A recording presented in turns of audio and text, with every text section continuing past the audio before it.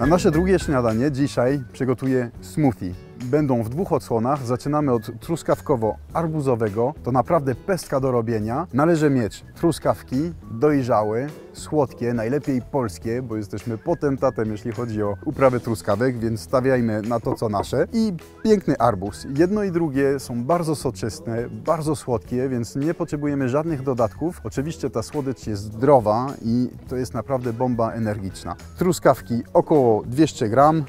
Wrzucamy do blendera, dodajemy jeszcze arbuz, następnie bez pestek, miksujemy i w zasadzie jesteśmy gotowi. Wrzucam do miksera od razu całe kawałki, zupełnie wystarczy. Zamykamy szczelnie, włączamy.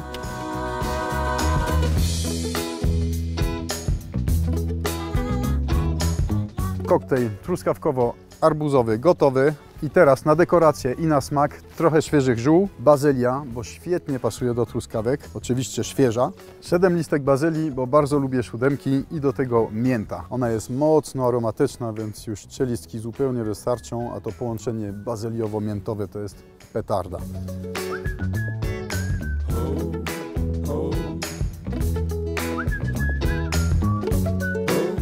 Dodajemy nasze zioła na smak i dekoracje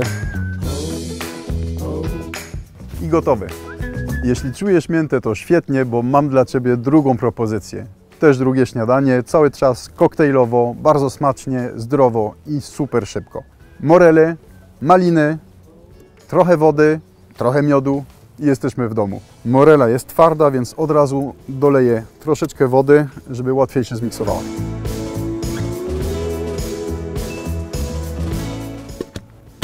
Miksuję.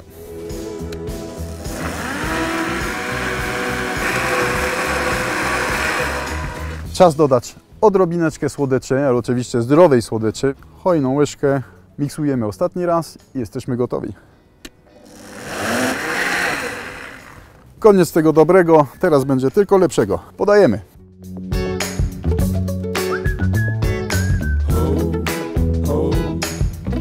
Smacznego. Ty też dbasz o to, co wcina rodzina?